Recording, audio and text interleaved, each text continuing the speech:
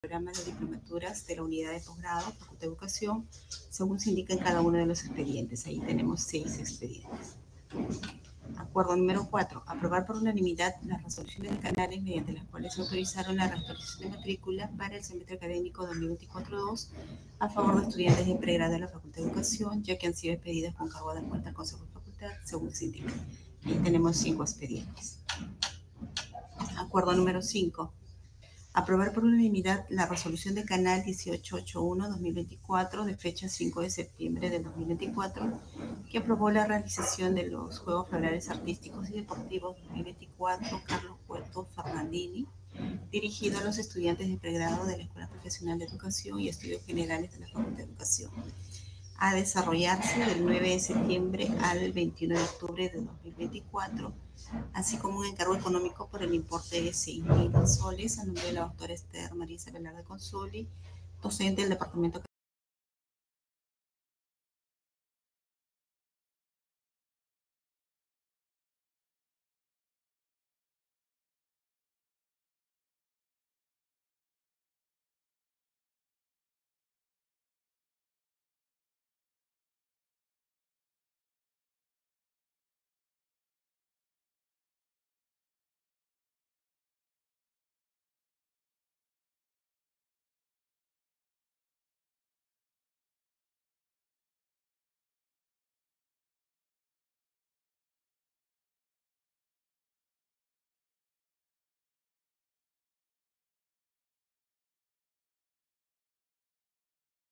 e inteligencia artificial a desarrollarse en los días 4, 5 y 7 de noviembre del año en curso en la Universidad Nacional, una universidad de Costa Rica.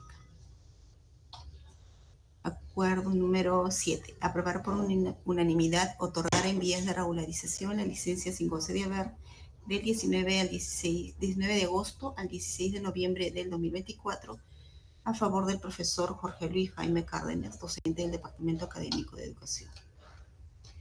Acuerdo número 8. Aprobar por unanimidad la modificación del anexo de la resolución de Canal 1433-2024 de fecha 18 de julio del 2024 que aprobó el presupuesto analítico del programa de capacitación docente para la excelencia académica del Centro de Responsabilidad Social y Extensión Universitaria, CERCEU, de la Facultad de Educación, correspondiente al periodo de junio a diciembre de 2024, debiéndose reemplazarse un nuevo anexo adjunto. Acuerdo número 9. Aprobar por unanimidad la fe de ratas del anexo del primer resolutivo de la resolución de Canal 1231-2024 de fecha 6 de junio de 2024 que aprobó los resultados del proceso de evaluación para la ratificación docente correspondiente a don Adrián Bernal Velázquez, presentado por la Comisión Permanente de Evaluación y Perfeccionamiento Docente de la Facultad de Educación, en el sentido de incluir el inciso G en el anexo 2, cuadro 6A de la tabla de puntaje académico administrativo como se indica. Muy bien. Eh, ¿Alguna observación al acta? Si no la hay, aprobada por unanimidad. La, siguiente acta, por favor. Sí.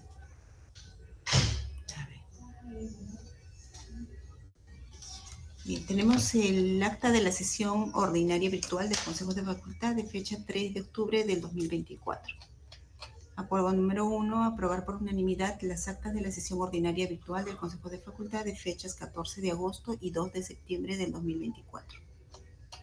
Acuerdo número 2, aprobar por unanimidad los grados académicos de magíster y doctor en educación a favor de los estudiantes de la unidad de posgrado, Facultad de Educación, según se indica. Ahí tenemos 15 expedientes.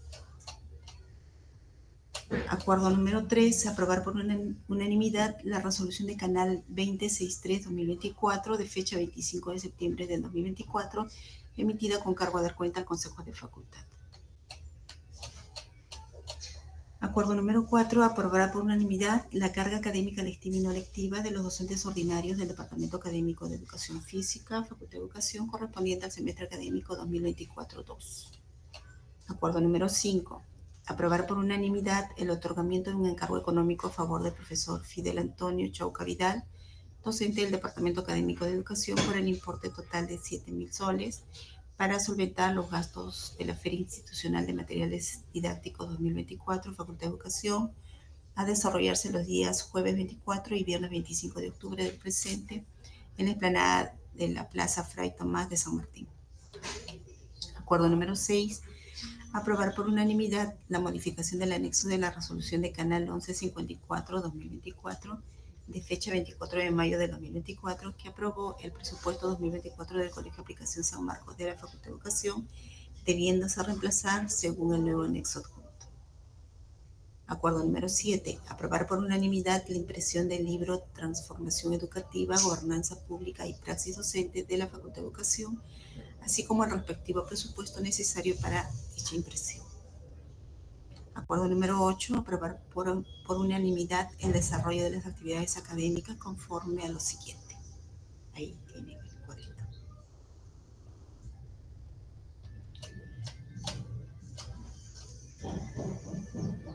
¿Y en alguna novedad, alguna observación al acta? Al no haberla, también aprobada por unanimidad. Ya no hay más acta, ¿no es cierto? Ya no, doctor, la agenda. Pasamos entonces a eh, despacho. Despacho. Bien, en despacho tenemos aprobar los grados académicos de magíster y doctor en educación a favor de estudiantes de la unidad de posgrado, según se indica en cada uno de los expedientes. Ahí tenemos cinco expedientes. ¿Alguna observación? Ninguna. Aprobada por unanimidad. Eh, aprobar, otorgar el diploma a favor de egresados del programa de diplomatura de la unidad de posgrado, según se indica. Tenemos tres expedientes. ¿Alguna observación? Aprobada por unanimidad. Eh, aprobar la emisión de la resolución de canal que autorice la matrícula extemporánea e ingreso de notas a favor de Rubén José Ignacio Guaire, ingresante 2013 del PROTEC. ¿Alguna, alguna inquietud? Aprobada por unanimidad. Bien. Dar cuenta al Consejo de Facultad de las resoluciones de canales de grados académicos de bachiller y títulos profesionales emitidos durante el mes de agosto del año en curso. ¿Alguna observación? Ninguna. Aprobada por unanimidad. Bien. Eh, dar cuenta al Consejo de Facultad de las resoluciones de canales 2077, 2122, 2134 y 2178-2024. ¿Alguna inquietud? Interrogante. Al no verla, aprobada por unanimidad. Aprobar, aceptar la donación de bienes y materiales didácticos para el curso de natación efectuada por la promoción 1974 de la Escuela Profesional de Educación Física. Asimismo, incluir dichos bienes en el inventario de la facultad. ¿Alguna observación? A ver, ¿a quién levantó la mano? Elvis Leiva. Eh, buenos días con todos. Eh, bueno, soy representante del Centro Federal de Educación. Eh, una consulta. eh, hay un interrogante con, con el punto anterior para que se tome en cuenta. Lo que pasa que en septiembre se ha extendido el bachillerato automático para todo 2024. Entonces, en consecuencia, lo que tienen duda los estudiantes de base 20 es que si es que ellos van a solo aprobar su, su curso de, tesis o necesariamente, como dicen los lineamientos de la facultad, van a tener un proyecto de tesis, en consecuencia van a tener que eh, dar su, su explicación, sustentación, o como dice en el lineamiento general de la SUNEDU, es que solamente aprueben, eso es lo que tienen dudas los estudiantes de la base 20, y también lo que tienen de duda es que si es que ellos llevan el curso que te piden de, otro idioma, eh, hasta qué nivel de, idioma, como puede ser el inglés, eh, te va a aceptar, pues en este caso la, la facultad para el bachillerato. Y también lo otro que están teniendo dudas los compañeros es que si el Centro de Idioma de San Marcos eh, va a acreditar o su, su constancia acredita también la sustentación para, para tener un bachillerato, ¿no? O va a hacerse de los dos, pues, ¿no? El, lleva el curso o también este, lleva el examen de eficiencia. Eso sería una de las dudas eh, de parte de algunos estudiantes que ya van a acabar este año y también sumarme a, otra petición que se puede hacer es que hay un mejor asesoramiento con los, con los estudiantes que van a acabar ya eh, este año y que se le llene con orientación e información para que no tengan estas dudas. ¿no? Como Centro Federado nosotros estamos extendiendo eh, esas dudas, ya que se nos ha, bueno, invitado ¿no? varias veces para poder conversar, pero sería mejor o sería más conveniente que lo haga pues no la facultad, sobre todo en el tema del bachillerato. Esa es mi opinión. Sobre ello, este, no sé si la doctora Esther justamente... Sí, ante todo, buenos días. Bueno, como todos sabemos, somos testigos de que hay una toda una estrategia de antirreforma universitaria y mm, en realidad lo que se busca es que el estudiante pueda obtener su bachillerato automático ya sin límite, ¿no? Eh, con respecto a lo que ha mencionado el estudiante del Centro Federado, yo ya había hablado con la señorita del tercio, en especial con Beatriz Chaupi, que es mi alumna, eh, para que se pueda organizar una reunión con todos los estudiantes de la base 20 para que se les explique detalladamente todos los procesos. Porque, mm, estimado miembro del Consejo, lo que yo estoy viendo es que los profesores que enseñan investigación, salvo algunas excepciones, no leen los documentos que están publicados en la página web y que hemos elaborado ya durante la gestión que fui directora de escuela, ¿no? Donde están los lineamientos paso por paso, todo lo que se tiene que hacer. Y también hay unos eh, documentos donde explica cuáles son las estructuras que se deben plantear para hacer los trabajos de investigación. Si bien el bachillerato es automático y cada vez la norma se está, digamos, eh, flexibilizando más, al parecer no necesita el estudiante que termina este año aprobar ningún curso ni ningún proyecto de investigación, ¿no? Sin embargo, eh, de manera personal, pienso que no tendría sentido llevar tantos cursos de investigación, que son metodología de investigación, y nosotros sí, a diferencia de otras universidades, porque todo esto ha ocurrido porque hay universidades que ni siquiera tienen cursos de investigación y entonces la norma les perjudicaba concretamente a esas, especialmente las universidades no licenciadas y que intentan ya otra vez licenciarse, ¿no? Entonces, este, no es necesario aprobar el curso de investigación, ya sobre ese tema he conversado con el vicedecano. Eh, sin embargo, me parece que de una manera, digamos, eh, interna se debería recomendar a todos los profesores que enseñan investigación, a que culminen su curso de trabajo de investigación unidos en un proyecto de investigación que les va a servir para la licenciatura, de tal manera que el espíritu que tiene la facultad es formar investigadores y en el momento que va a obtener la licenciatura pueda sustentar, ampliar ese trabajo de investigación y sustentarlo. ¿ya? Entonces, eh, en primer lugar, informo que Estoy en espera de la convocatoria de la reunión y hemos conversado de eso en varias oportunidades para yo poder explicar. En segundo lugar, también me gustaría que los profesores de investigación asistan, ¿no? E incluso los que hacen asesoría para que estén informados, porque hay una práctica de no lectura, no se leen los documentos donde están precisados todos los pasos. En segundo lugar, eh, el bachillerato sea automático sin haber aprobado el proyecto. Eso es lo que tengo entendido. Eh, creo que hasta la eternidad. Y con respecto al idioma inglés, todos sabemos que eh, no se pide ningún tipo de exigencia si es básico, intermedio. Eh, creo que con un nivel básico es suficiente. No hay ningún documento que precisa que tengas que tener un idioma en dominio avanzado. Con un nivel básico es suficiente y los que traen certificados de otras universidades han estudiado inglés, pero no solamente es inglés, ahí dice idioma extranjero, ¿ya? Pero también hay idioma nativo, también hay que darle espacio al idioma nativo. Y lo que han este, llevado en otra institución que no sea en el centro de lingüística tendrán que dar un examen de suficiencia. Eso es lo que yo podría informar. Entonces estoy a la espera con los estudiantes del tercio para tener esa reunión y también pueden asistir los miembros del Centro Federal. Bien, entonces creo que con eso ya se va a canalizar adecuadamente. Sí, buenos días. Pasamos a Abelardo Campana, también ha pedido la palabra.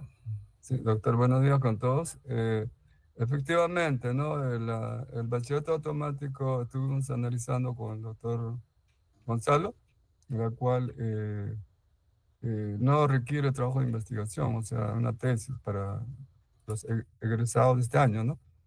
Pero sí, el requisito es aprobar las asignaturas de investigación. Entonces, y más el idioma inglés, ¿no? Entonces, eh, eh, más bien ya los alumnos ya tienen conocimiento que eh, su trabajo de investigación lo van a hacer para la licenciatura. Muchas gracias. Bien.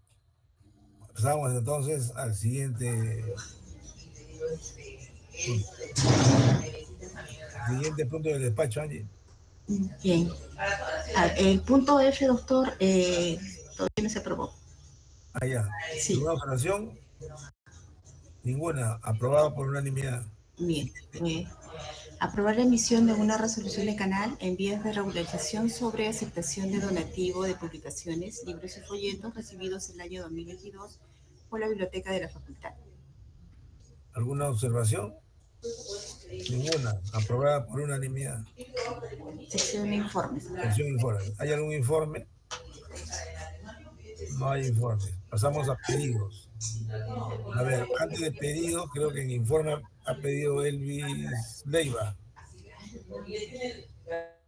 Sí, justamente para informar, bueno, a todos los presentes, eh, bueno, lo que nosotros tenemos en, en duda, y sería bueno que nos puedan aclarar si las actas de las de los consejos de, o de las reuniones de la facultad se están publicando en la página, ¿no?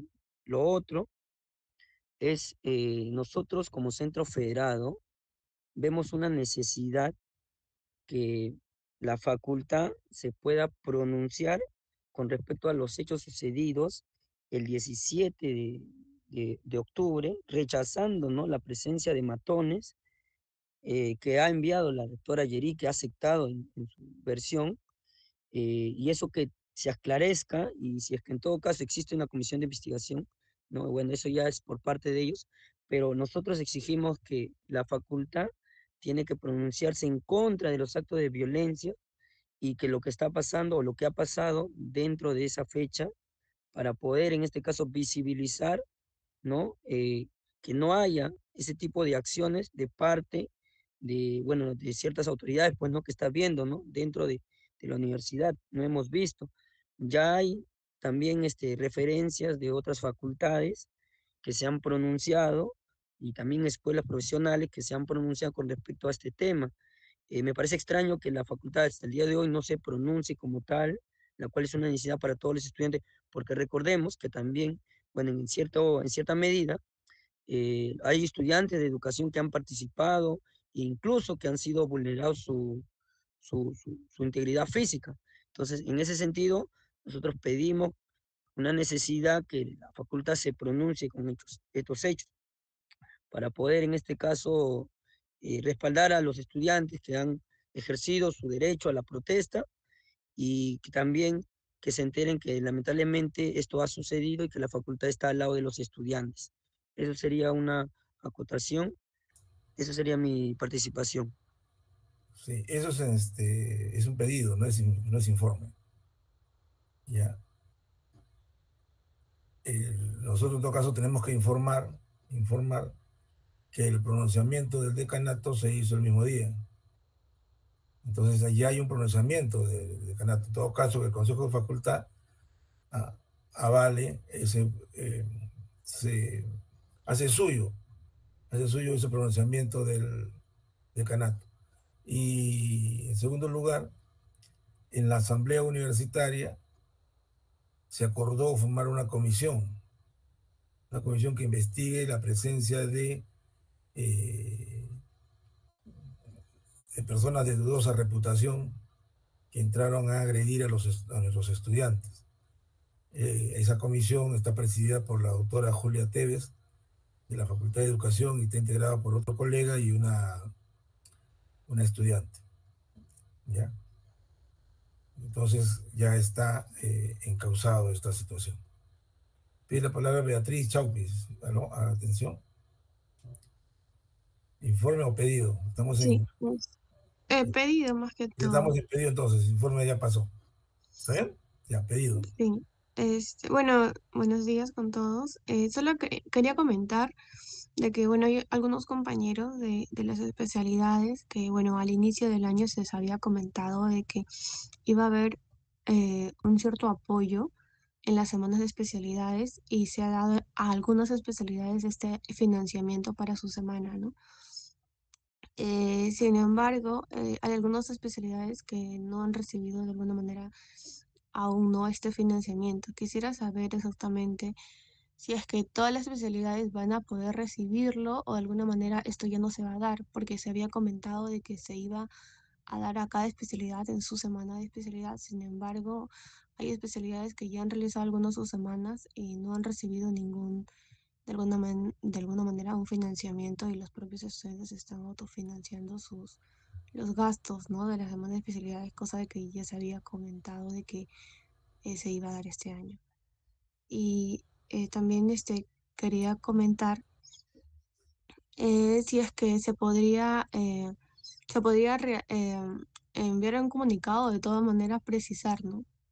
exactamente cómo se está dando este financiamiento para que de alguna manera, si es que se había comentado que todas las especialidades iban a recibir algo, tal vez, Mm, por qué ya no se está dando o de qué manera se podría realizar para que todas las especialidades que se había comentado que iban a recibir, reciban, ¿no? Eso es lo que yo les quería comentar, porque hay muchos compañeros que están consultando, ¿no? El, por qué no. Bien, la profesora Estrella Velarde le ha pedido la palabra. Sí, este, miren, yo he ido, yo he hablado con todos los delegados de las eh, ocho especialidades y he compartido una resolución de canal que hizo el decano hace varios meses, donde se le otorgaba dos mil soles a cada uno de las especialidades para que hagan sus eventos. El asunto es que cuando envíen los proyectos, vuelvo a hacer el pedido, por favor, la parte económica no ve nada a la escuela.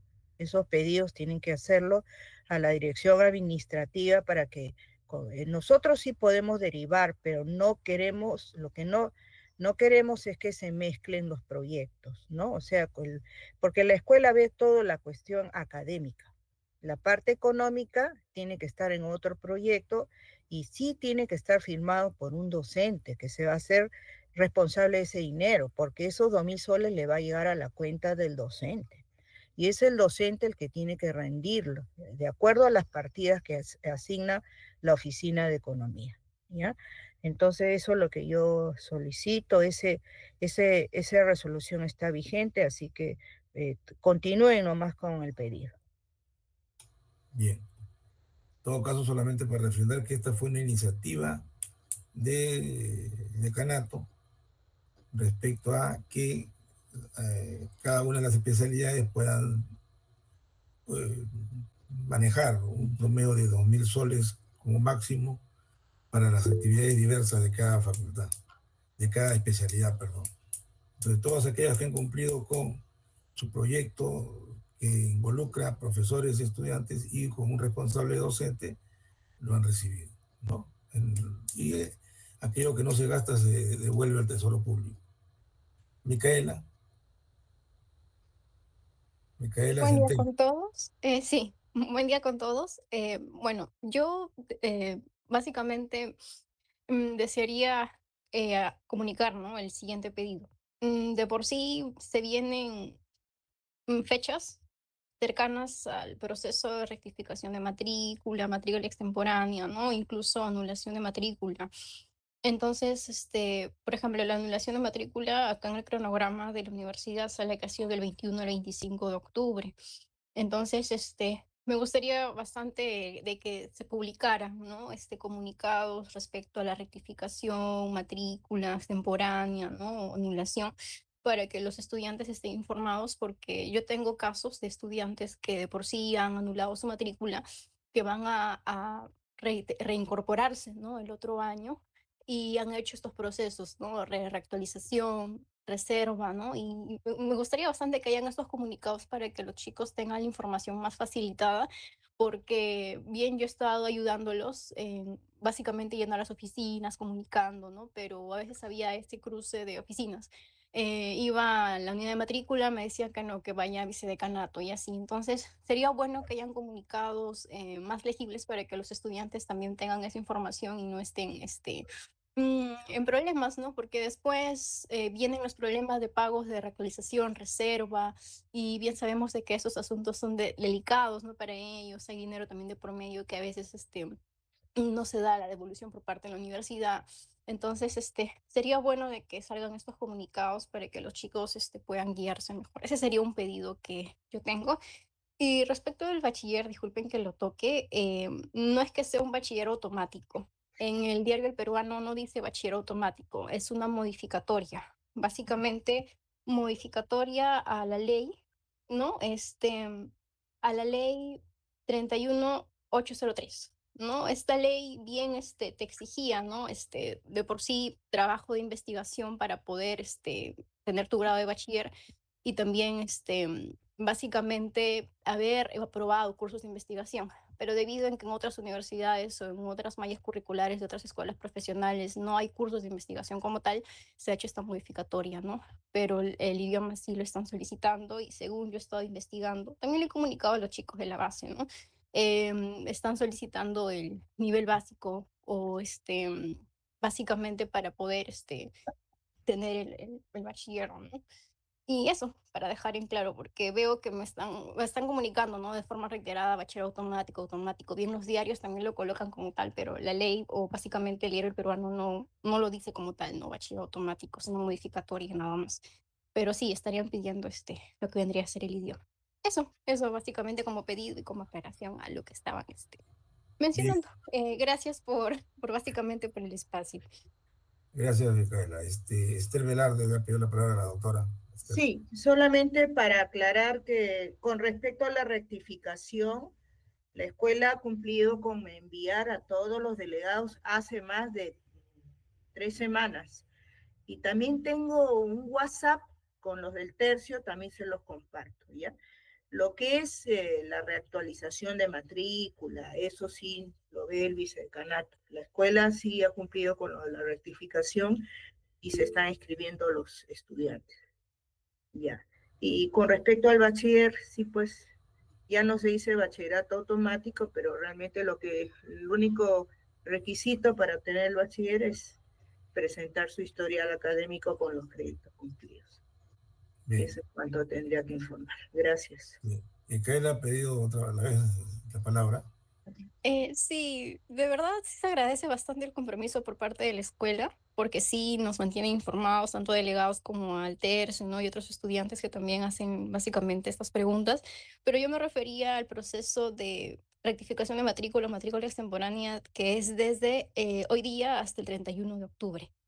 ¿no? Porque eso es lo que más me están preguntando algunos chicos que quieren hacer este, su rectificación, ¿no? Y a su vez este, también este, que les aparezcan los cursos en el Zoom. Entonces, básicamente me estaba refiriendo al proceso de, de, básicamente de este mes, no al proceso este, anterior. Pero sí, este, la reiteración, ¿no? Por, por mantenernos este, comunicados, este, por sí, este, se agradece ello. Bien. No sé si el doctor Gonzalo quiere decir algo. Doctor Gonzalo Pacheco. Sí, muy amable, señor Recano. Muy buenos días con todos los consejeros. Sí, en efecto. Eh, los aspectos que tienen que ver con lo que ha dicho la señorita es, están determinados en una directiva que se comparte siempre en los primeros meses del año o a inicios del año anterior. Y eso se ha hecho en su oportunidad. Lo que voy a conversar con la unidad de matrícula es nuevamente compartir en la página o en las redes sociales a fin de que los estudiantes tengan la información correspondiente que les permitan tomar sus decisiones respecto de lo que puede ser rectificación u otros aspectos que ellos consideren. Según, repito, el cronograma de actividades académicas 2024-2. Gracias, señor Recano. Bien. Habiendo aclarado todo ello, no sé si hay otro pedido. Si no lo hubiera, pasamos a orden del día. Orden del día Angie, por favor. Sí, en orden del día tenemos eh, punto A, aprobar o aprobación de postulantes al concurso de, de ayudantía de cátedra correspondiente al semestre académico 2024-2. ¿Alguna inquietud? Aprobada por unanimidad. Siguiente. Aprobar la licencia con goce de haber a favor de Carlos Willy Dextra Mendoza, docente del Departamento Académico de Educación Física, para su participación en la presentía a desarrollarse en la ciudad de Colombia del 29 de octubre al 2 de noviembre de 2024. ¿Alguna observación? Aprobada por unanimidad. Eh, siguiente, tenemos aprobar el presupuesto analítico 2024-2 del programa de doctorado en educación y docencia universitaria de la unidad de posgrado. ¿Alguna observación? Aprobada por unanimidad. Siguiente punto es aprobar el presupuesto analítico 2024-2 del programa de maestría de investigación en educación de la unidad de posgrado. ¿Alguna inquietud? Ninguna. Aprobada por unanimidad. Siguiente punto es aprobar el presupuesto analítico 2024-2 del programa de maestría en educación de profesionalización de la unidad de posgrado. ¿Alguna inquietud? Ninguna. Aprobada por unanimidad. El último punto es aprobar el proyecto de creación del programa de diplomado en inteligencia artificial en educación de la unidad de posgrado. Una pregunta. Al no haberla aprobada por unanimidad. ¿Tenemos algo más? Ese es el último punto. Entonces, mis estimados consejeros y personal que nos, nos apoya, nos da soporte, muchas gracias y es a seguir en nuestras actividades cotidianas. Un gran abrazo, que les vaya muy bien. Buenos días.